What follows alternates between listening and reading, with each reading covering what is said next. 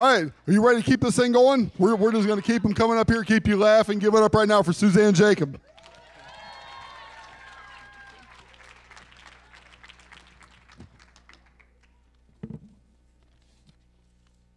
I'm Suzanne, and I'm recently married to an Englishman. And when we first met, he was enchanting, and his accent charmed me. I felt like I was living a real life version of Notting Hill, and I was that girl in front of that boy asking him to love me. And then we got married. and every possible difference between a 14 year bachelor at English Leo and an independent Latin American uh, tourist began to surface. And did I mention he was raised Jewish? I realized in a short period of time that I'd married Simon Cowell and Larry David. Every day of our married life has scenes right off the set of Curb Your Enthusiasm with interjected quips that could come from the set of American Idol. The other day, I was preparing breakfast and I asked him, Babe, would you like a bagel? And he said, Darling, what time is it? And I said, Is there a specific time that you eat bagels? Is it 1017? Is it two minutes too late to eat bagels? I'm thinking, you know, I know they have tea and crumpets at high noon, so maybe there's a designated time for bagels.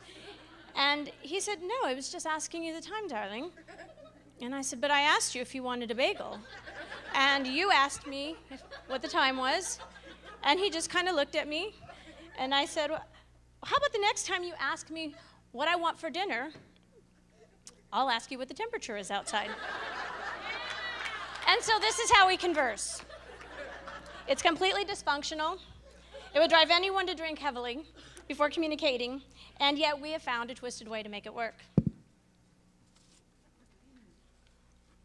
So, now I've always known that the divine has a sense of humor, but I'm beginning to think that it might just be slightly twisted.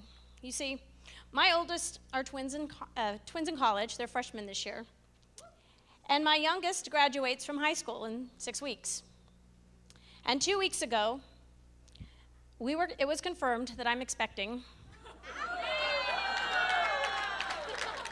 and so I feel like I've been thrown into this real life game of chutes and ladders. I thought I was almost done, and now I realize I'm back at the beginning.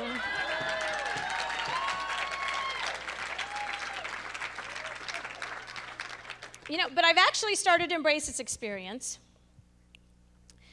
because I know and I realize that this pregnancy can finally complete the stretch mark masterpiece that the first two pregnancies initiated.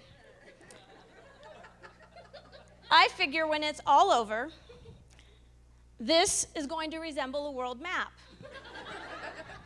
and I can market my body as a GPS system. Are you lost? Here, let me help you.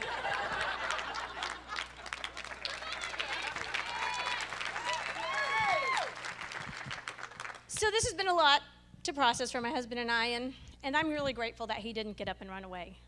Well, he couldn't have got very far because I hid his passport. but seeing as how he and I have never been through this pregnancy gig before, I figured I'd inform him of what to expect in the coming months. I said, Dear, I'm about to morph into a Buddha.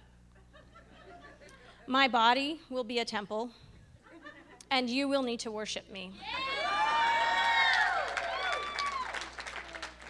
I might have some weird cravings at odd hours that are going to send you to the market with one eye open. And I might say some things that I don't really mean. And the lovely bride you claimed only months ago might seemingly disappear right before your eyes.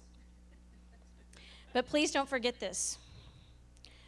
When that day arrives and I say, it's time, please don't make a beeline for the bagels.